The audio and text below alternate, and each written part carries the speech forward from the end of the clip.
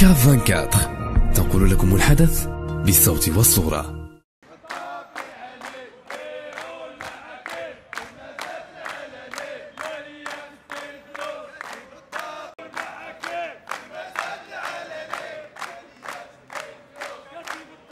في إطار برنامجنا الاحتجاجي الوطني من أجل الضغط على وزارة المالية في أفق إخراج إخراج النظام الأساسي المتوافق بشأنه مع وزارة العدل.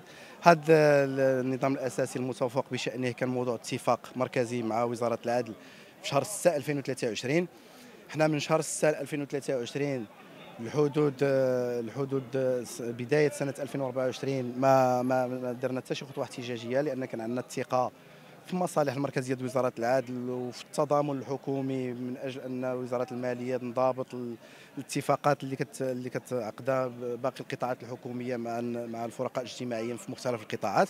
ولكن للأسف الشديد أن وزارة المالية تلكأت على تنفيذ هذا الاتفاق لأكثر من ستة أشهر وحنا دابا وصلنا تقريبا 8 شهور ولا 10 شهور.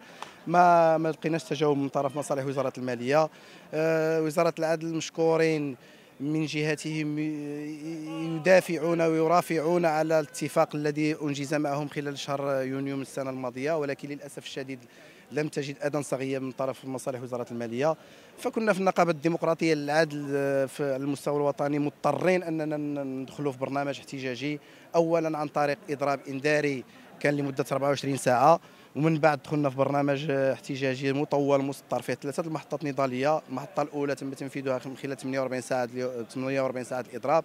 محطة اليوم 48 ساعة الإضراب مصحوب بوقفات احتجاجية جهوية على المستوى الوطني ومحطة ثالثة إضراب وطني أيام 7 و8 و9 شهر 5 إن شاء الله. وحنا كنتسناو التعاطي الحكومي مع هذا مع هذا المسار الاحتجاجي ديالنا. كانت شي حاجة فاحنا إحنا نقابة مواطنة بطبيعة الحال وحنا نكونوا السباقين للحل.